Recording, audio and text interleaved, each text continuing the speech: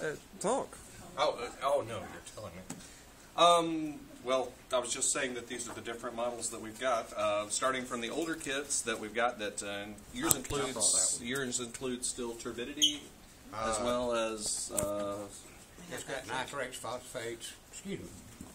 You know, fa- all that to go. and Uh, dissolved oxygen have- pH. When they first started, The individual kits. Yeah. Uh, you know, phosphates, alkalinity, nitrates, that kind of thing.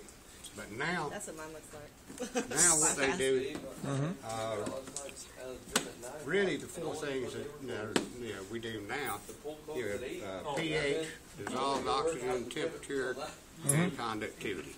And four big ones. the second kit. Now this is an older kit that we have had. Combined everything together into a lot of different chemicals all at once instead of doing the separate kits like that. Advantages to each style, depending on which style you want to go with. And uh, then the newest style kind of shrank this down to include what is most important, which is what Mr. Al had just said.